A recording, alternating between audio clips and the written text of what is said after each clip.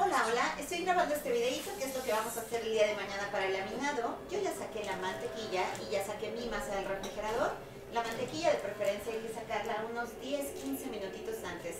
Que esté fría pero flexible. Depende del clima en donde te encuentres. Si es un clima muy caluroso, pues tal vez la saques unos 7 minutos antes. ¿Ok?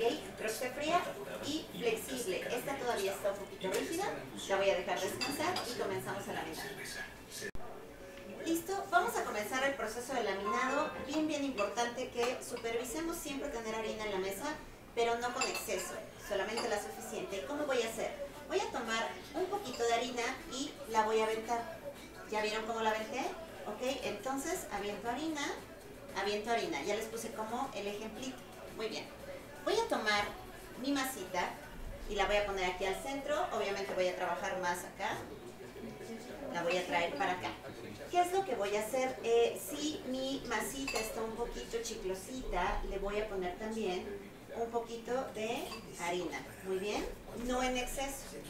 Van a tomar el rodillo y van a dar un apretón aquí en el centro. ¿Vieron? Doy otro apretón, otro apretón. Esto con la intención de que se vaya estirando y como todavía está fría, que no se vaya a craquelear de aquí al lado. Entonces voy a comenzar a estirarla al tamaño de el doble de la mantequilla. ¿Y cómo lo voy a ir midiendo? Voy a tomar mi bloque de mantequilla y la voy a poner aquí. ¿Ok? Aquí obviamente todavía no está el doble. Ya más o menos tiene el ancho. Y lo que voy a hacer es siempre supervisar movimiento libre. Si necesito puedo poner un poquito más de harina. Quito el exceso y le voy a dar un poquito más de ancho. ¿Ok? No la pongan demasiado ancha, acá mismo la pueden ir cuadrando, siempre verificando que quede como derechita. Voy a poner aquí mi mantequilla y voy a supervisar que llegue hasta el centro. Entonces, obviamente aquí todavía me falta largo. Eso es lo que vamos a ir viendo en clase. Ya no les voy a dar como tal una medida, sino que le vayamos agarrando la lógica. Superviso que tenga suficiente movimiento y voy a hacerla un poquito más larga. Del centro hacia un lado, del centro hacia el otro. Muy bien. Reviso también que no me pase de ancho. Y me parece que aquí ya voy a llegar. Si se dan cuenta, no estoy llegando bien, bien, bien a la orilla. Lo que puedo hacer aquí es estirarla con cuidado. Entre más derechita tengamos nuestra masa, más fácil va a ser el armado y el, laminado. Muy bien, voy a quitar la mantequilla.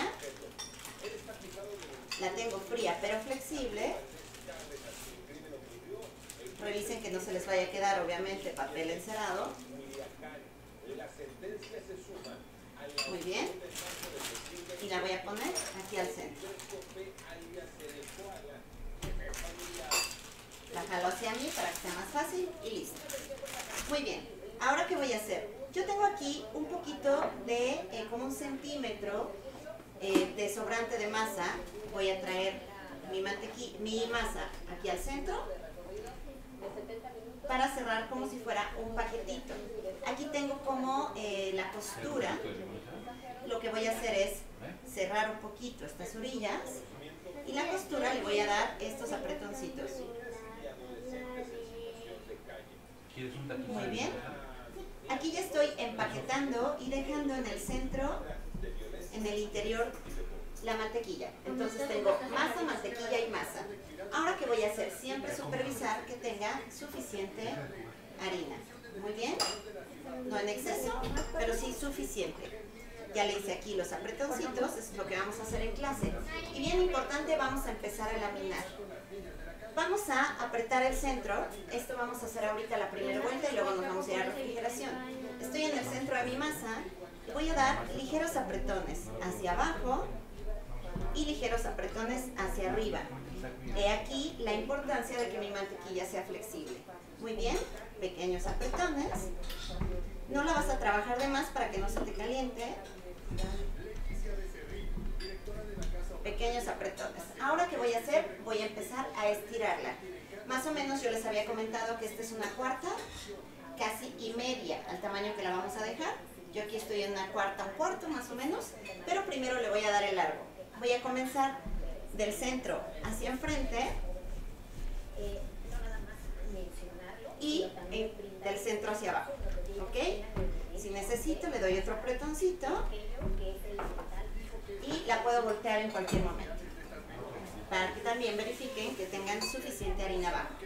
Si no tienes tanta fuerza, también te puedes apoyar del centro de tu masa, ponerla a la orilla de la mesa. Entonces aquí vas a tener mucha mejor presión. Vamos a darle un apretón y vamos a comenzar a estirar. Muy bien.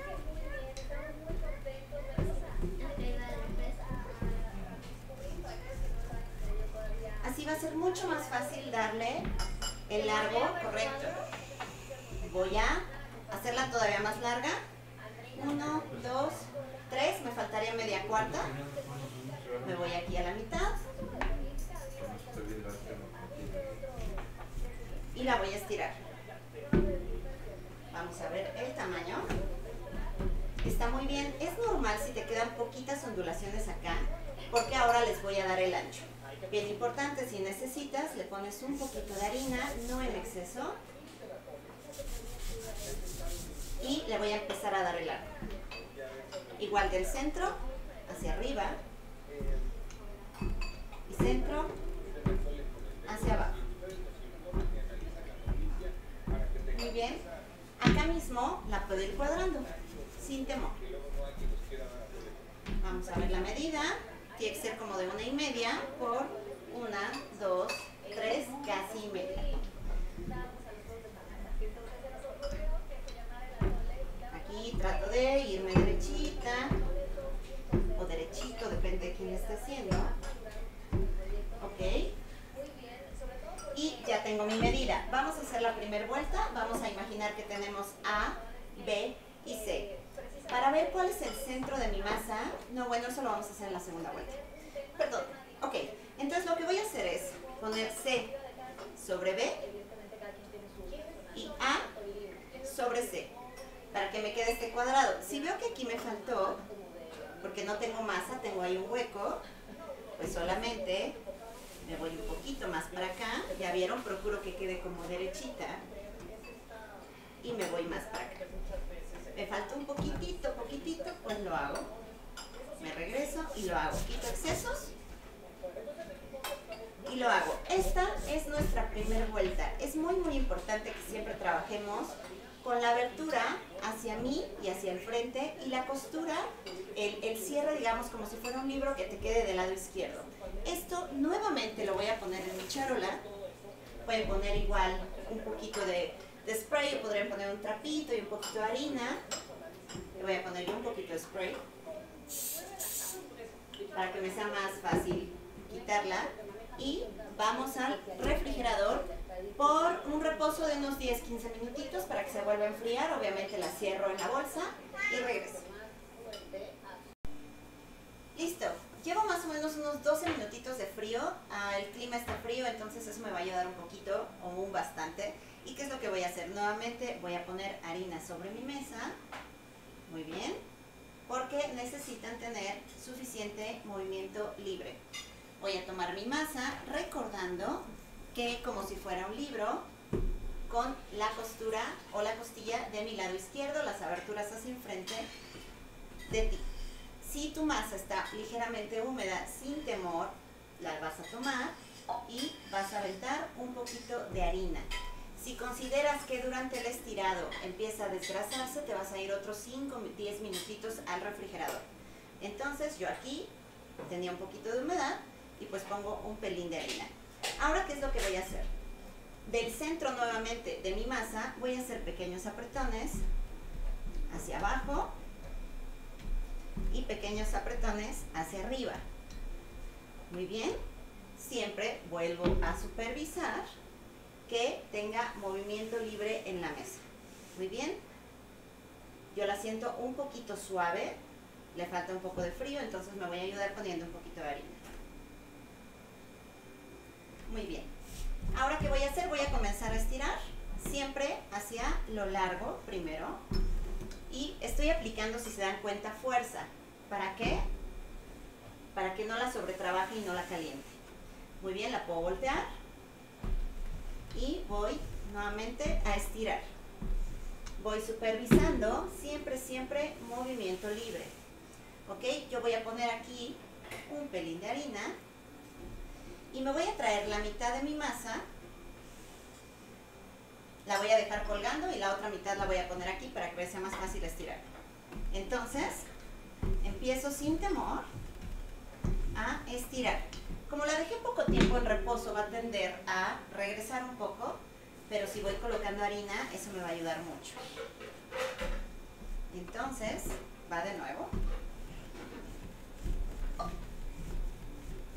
Muy bien. Superviso movimiento y ya vieron, ya está mucho más larga. Estoy buscando la medida de 3, me falta un poquito más de largo y vuelvo a dar el ancho.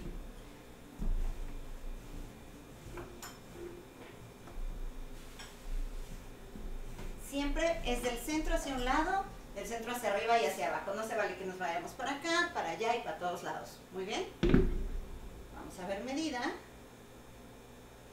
Más o menos tres y media. Y voy a empezarle a dar el anchito.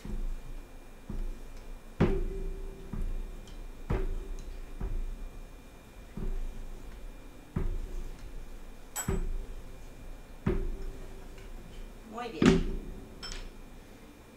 Como una y media, me falta un poquitito y vuelvo a supervisar que tenga movimiento libre, que no se esté desgrasando. Si fuera necesario, con el rodillo la pueden levantar o simplemente levantarla así, aventar harina y volverla a bajar. Muy bien.